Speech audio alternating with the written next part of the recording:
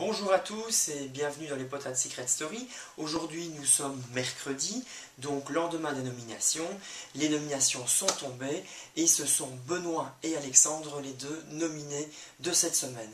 Revenons un petit peu plus précisément sur ces nominations, vu que toute une machination s'était mise en place, puisque Amélie et Julie auraient bien voulu et avaient tout mis en œuvre pour essayer de nominer Robin et Maxime.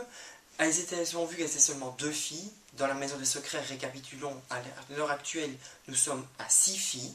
Donc d'un côté, vous avez Amélie et Julie. De l'autre, vous avez Shine, Stéphanie et Charlotte. Et le petit électron libre, Chris Maël. Donc toute la convoitise allait, tous les regards allaient vers Chris Maël. Bien sûr, Julie et Amélie ont essayé de l'avoir dans leur clan.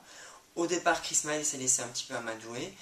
Thomas a vu le grand jeu et Thomas a directement été trouver Chris Mail en lui expliquant que c'était juste de la manipulation, que c'était juste du profit et que Amélie et Julie n'en avaient rien à faire de Chris Mail, ils voulaient juste avoir sa voix pour réussir à nominer Maxime et Robin.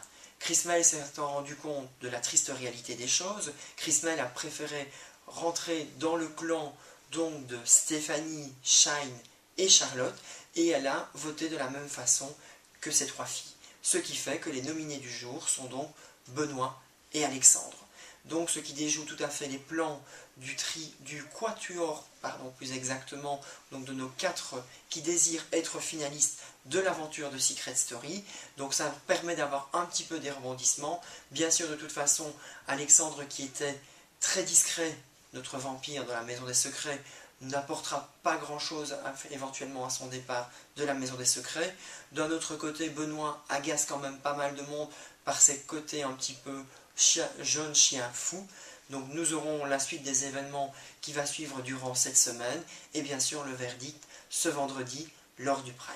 Pour le reste, je vous donne rendez-vous dès demain. Je vous souhaite une bonne après-midi et je vous dis